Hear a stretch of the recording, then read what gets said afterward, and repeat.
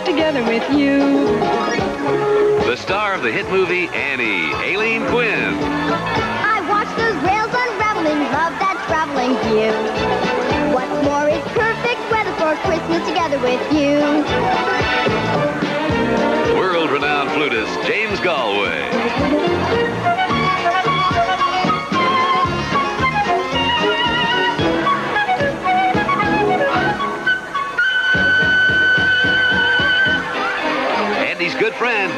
Dick All winter I've been hoping that the slopes would open like new. It sure is perfect weather for a Christmas together with you.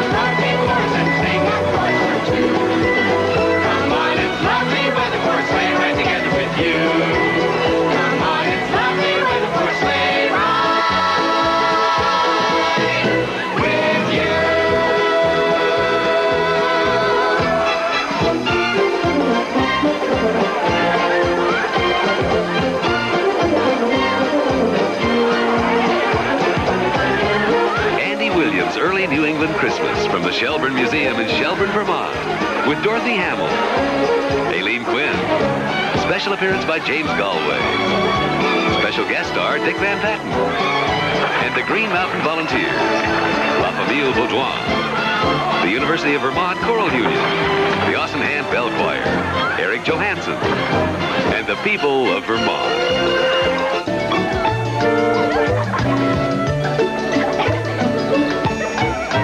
It's the most wonderful time of the year. With the kids jingle belling and everyone telling you be of good cheer. It's the most wonderful time of the year. It's the ha- happiest season of Those holiday greetings and gay happy meetings when friends come to call. It's the hap- happiest season of all. There'll be parties for hosting, marshmallows for toasting, and caroling out in the snow. There'll be grandfather stories that tell of the glories of Christmases long, long ago. It's the most wonderful time of the year. There'll be much mistletoeing and hearts will be glowing when loved ones are near. It's the most wonderful time. Yes, the most wonderful time. It's the most wonderful time of the year.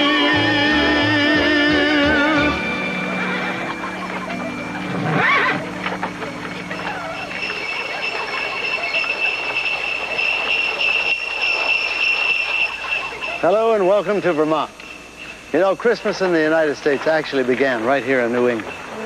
You probably have Christmas cards on your mantle right now with scenes like this on it. Christmas is a holiday full of cherished memories, a time for remembering the way we were.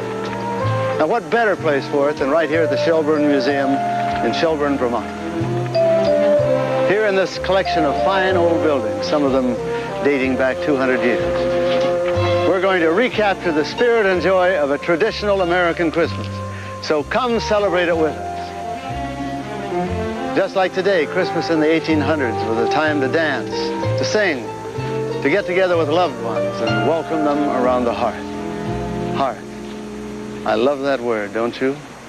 Welcome here, welcome here, all be alive and be of good cheer. Welcome here, welcome here, all be alive and be of good cheer. I've got a pie all baked complete, pudding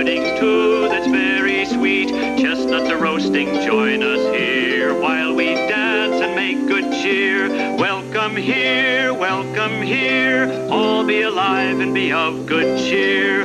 Welcome here, welcome here, all be alive and be of good cheer.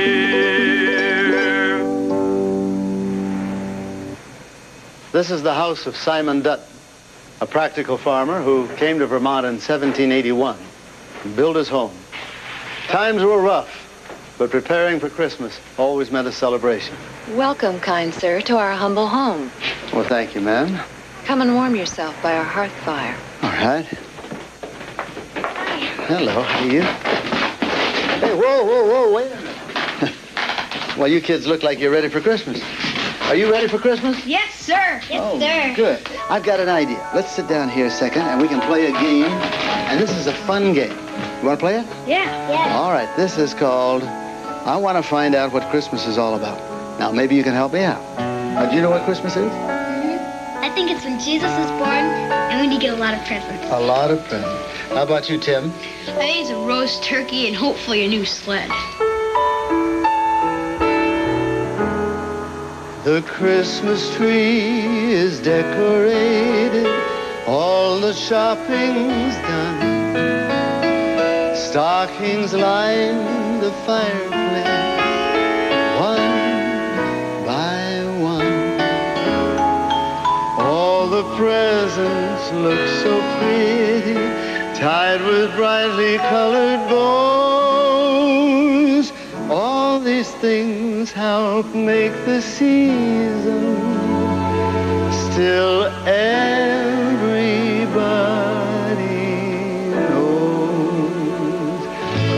Christmas needs love to be Christmas. Christmas needs hearts full of joy.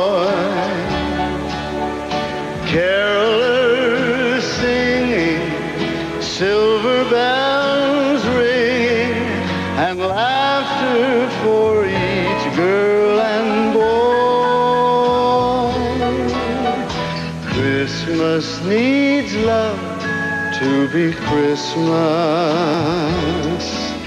It's something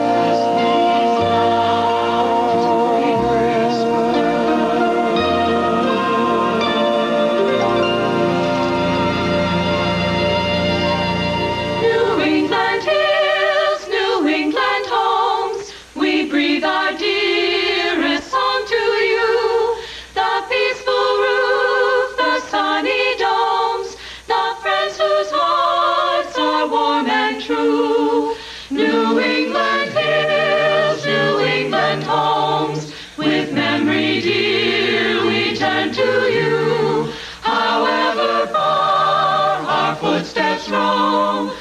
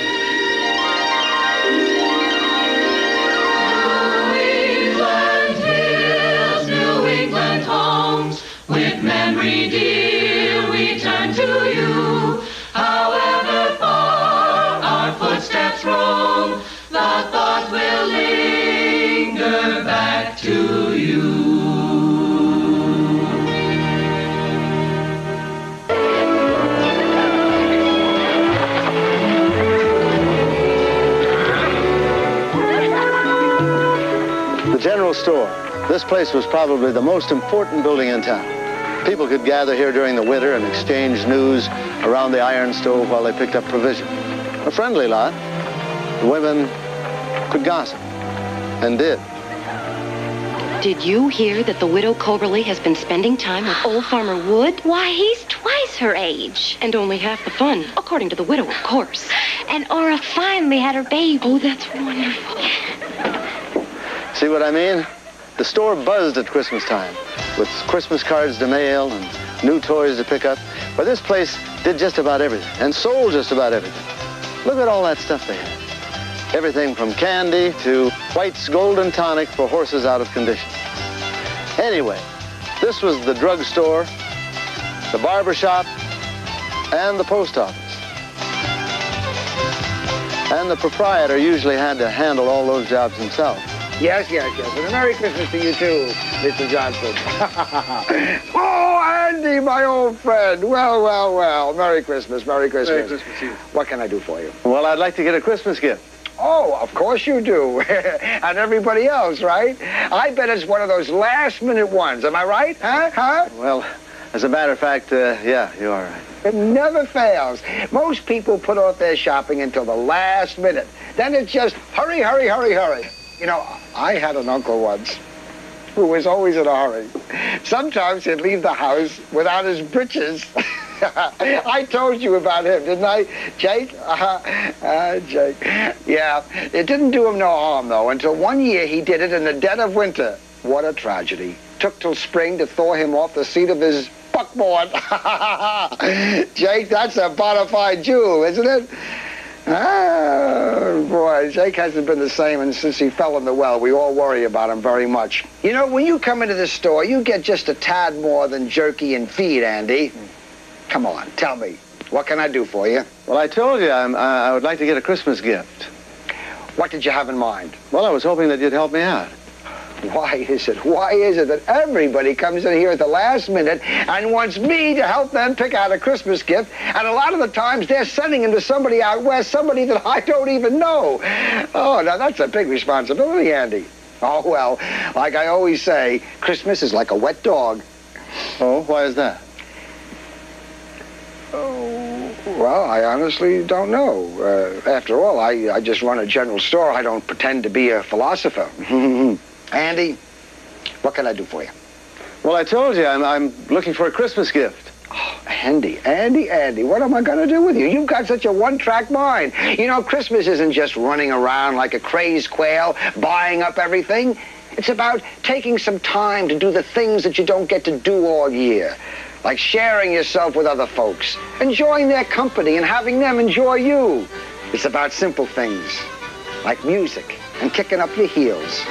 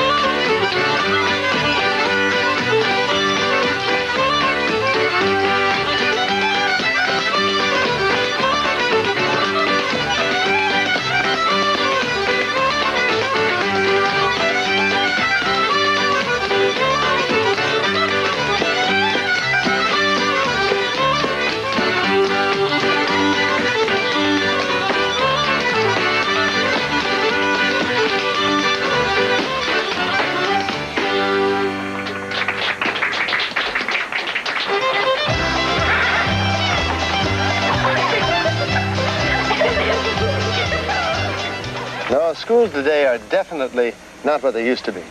And we've come a long way since the days of the one-room Little Red Schoolhouse. You're kidding. One room? Did the different grades come in at different times? No, grades one through nine were all in school at the same time. I bet the teacher looked forward to Christmas vacation. Well, back then, they only had one day off for vacation. I bet their essays on what I did on my Christmas vacation were kind of short, huh? I guess so. But they had other things to look forward to, like the Christmas pageant and caroling. Excuse me, Mr. Williams. I've got to go.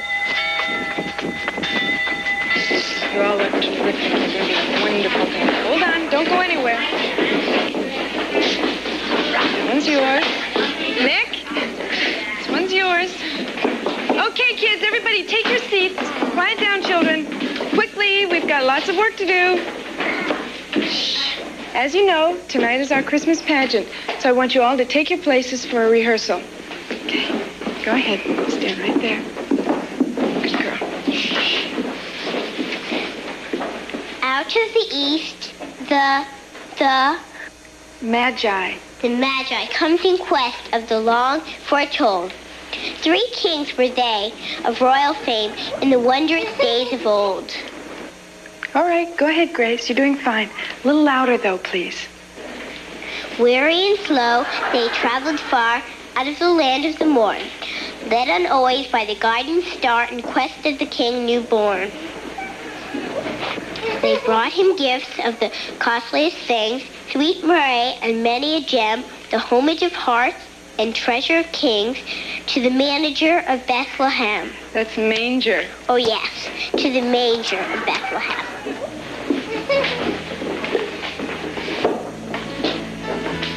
He was God's first and best Christmas present to the world. That was how Christmas first came into fashion. And it was such a good one that has gone on ever since. The angel also gave us a gift that day. The angel said, Let there be peace on earth.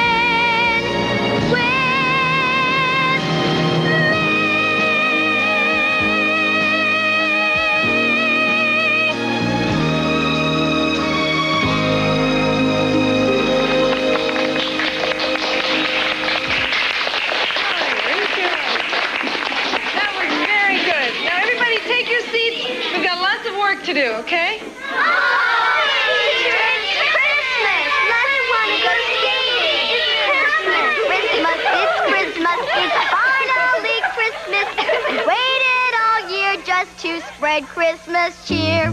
People are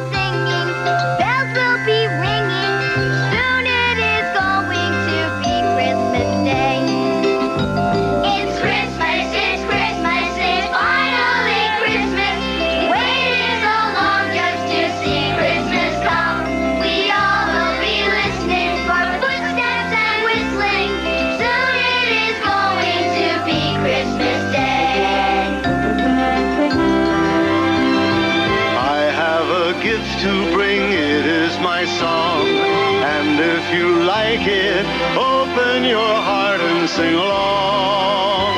Sing along. It's Christmas, it's Christmas, it's finally Christmas. We waited all year just to spread Christmas cheer. People are singing, bells will be ringing. Soon it is going to be Christmas Day.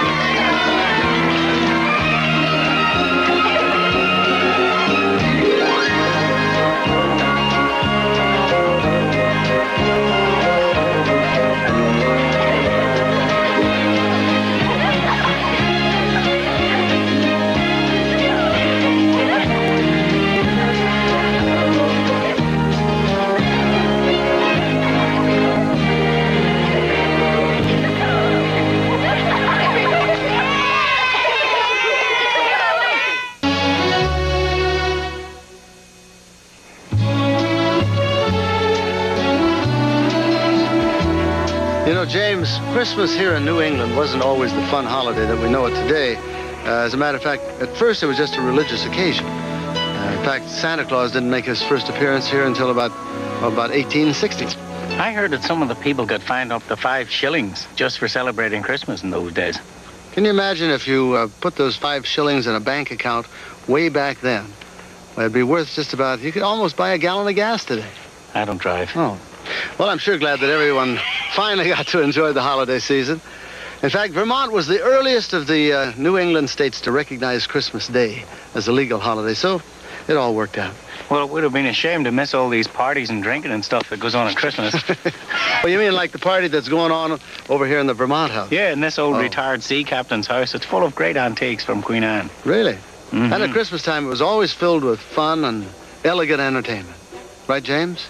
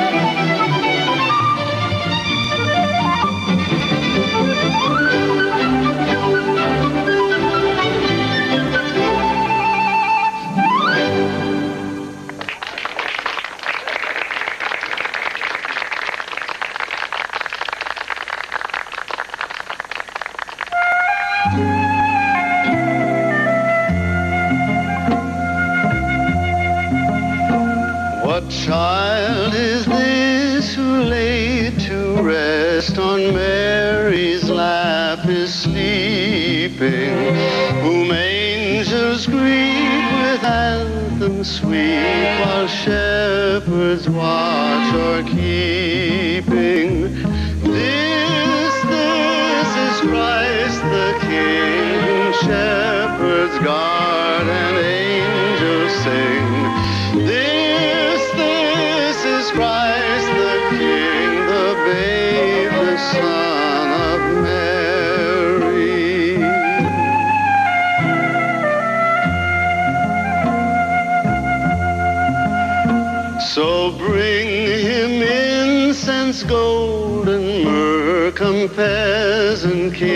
to own him. The King of kings, salvation brings, let loving hearts enthrone him. This, this is Christ the King, whom shepherds guard and angels sing. This, this is Christ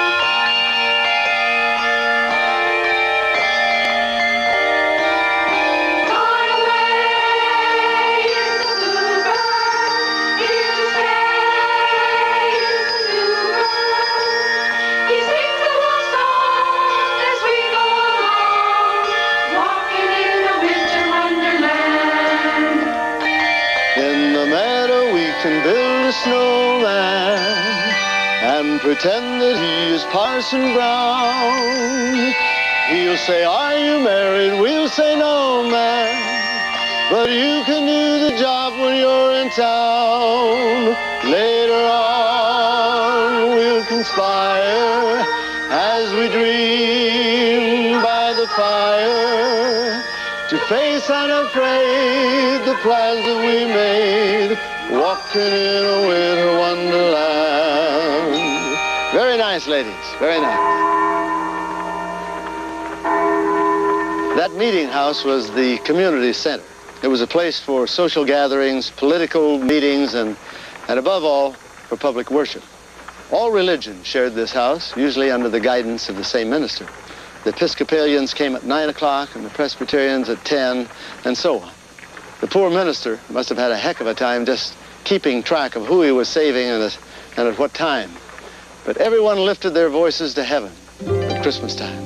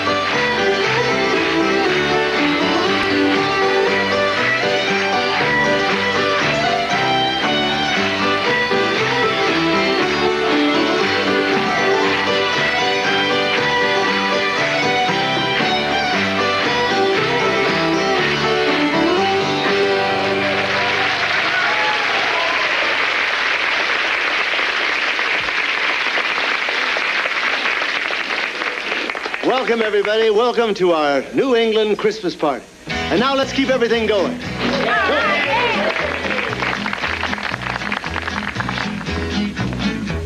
I'll give to you a paper of pins, for that's the way our love begins. If you will marry me, me, me, if you will marry me. I'll not accept your paper of pins. That's not the way my love begins. And I'll not marry you, you, you. I'll give to you a big old horse that paced these hills from cross to cross. If you will marry me, me, me, if you will marry me. I'll not accept your big old horse that's paced these hills from cross to cross. And I'll not marry you, you, you. And I'll not marry you. I'll give to you my hand and heart that we might wed and never part. If you will marry me, me, me, if you will marry me. I'll not accept your hand part. And I won't marry you, you, you. And I won't marry you. I'll give to you the key to my chest so you'll have gold at your request. If you will marry me, me, me, if you will marry me. I will accept the key to your chest, so I'll have gold at my request. And I will marry you, you, you, and I will marry you. Now you love coffee and I love tea. You love my gold, but you don't love me. And I'll not marry you, you, you, and I'll not marry you.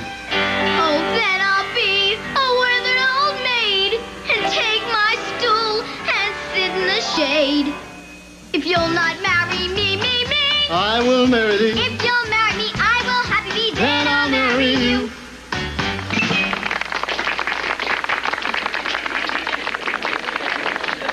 Attention, everyone. It's now time for the game, The Queen of Sheba. We need a chair. And we need uh, the Queen of Sheba. We need the prettiest girl in the place. Oh, yes, of course. Now, let me see. We need two suitors. Two cute suitors. There's one. And there's the other. Now, gentlemen, the way you get the girl is you have to kiss her. Oh, that sounds easy. Except for one thing. Both of you are blindfolded. See that?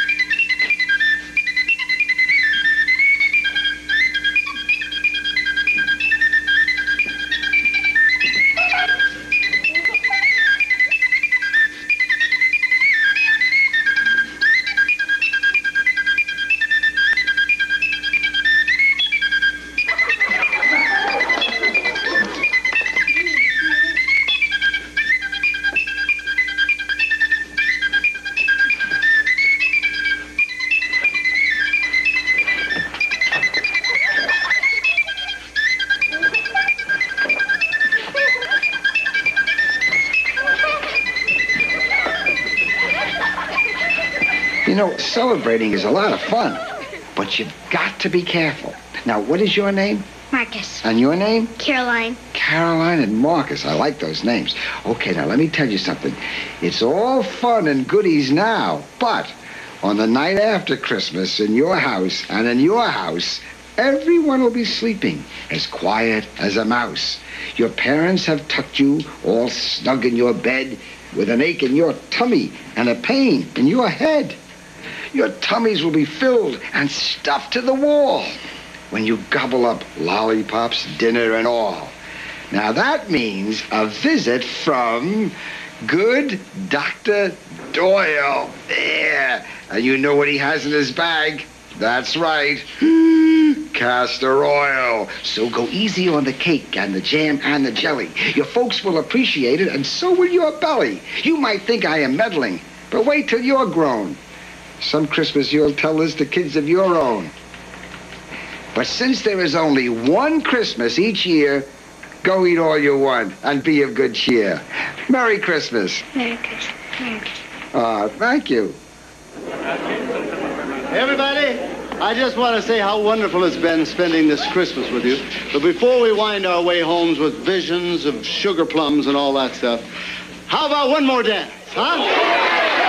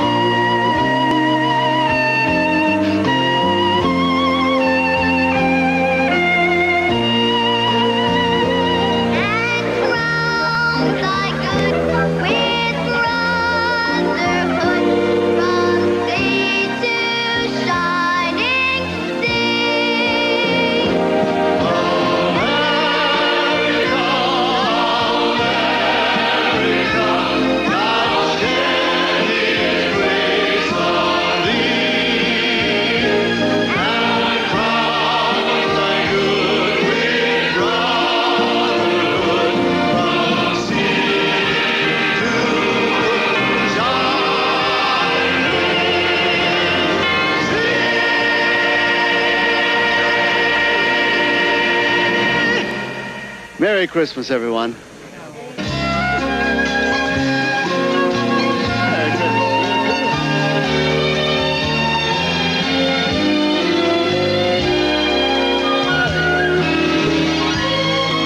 Tomorrow night, she was a pop singer, a superstar, and she had it all, but it was too much. Sondra Locke and Tony Orlando star in Rosie, the Rosemary Clooney story, tomorrow at 9, 8 Central and Mountain.